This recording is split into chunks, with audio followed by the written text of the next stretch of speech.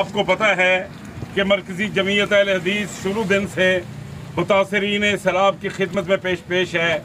ये बच्चियाँ, इनका बाप फौत हो चुका और इंतहाई गुर्बत के आलम के अंदर, सैलाब के अंदर डूबी हुई। इनके पास जूती नहीं है बेचारों के पास। ये छोटे छोटे नन्हे बच्चे, ये बेटियाँ, आज कौम की बेटियाँ हैं तो हमारी बेटियाँ हैं। तो इस मुश्किल घड़ी के अंदर मेरी मिल्लत इस्लामिया और मुसलमानों से गुजारिश है ये सब सैलाब जदगान यहाँ पे खड़े हैं। इनको खैमे चाहिए इनको राशन चाहिए इनको खाने पीने की चीज़ें चाहिए। इन मरकज जमीयत अहल हदीस पहले भी खिदमत करते रहिए और आज भी करेंगे। और इन अब कुछ साथियों में खाना भी देते हैं और इन इनको तंबू भी देंगे खैमे भी देंगे राशन भी देंगे अद्वियात भी देंगे।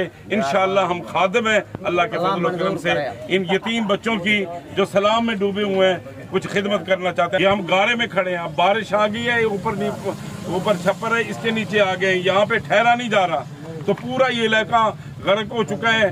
अब हम हुकूमत से, रेस्क्यू वालों से गुजारिश करते हैं कि हमें कश्तियाँ दें ताकि उन लोगों को निकालें। माशाल्लाह यूथ फोर्स के साथी दिन रात मेहनत कर रहे हैं। अल्लाह के फजल करम से सलाब जदगान की मदद के लिए वसाइल हुकूमत कुछ तवज्जो दे पंजाब हुकूमत भी मरकजी हुकूमत भी और मुखैर हजरात भी इन यतीम तीन बच्ची को खिदमत की जा रही है। ये सलाब जदगान है।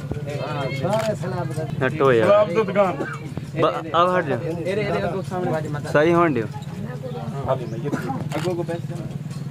यार बाकी हट क्यों दलील की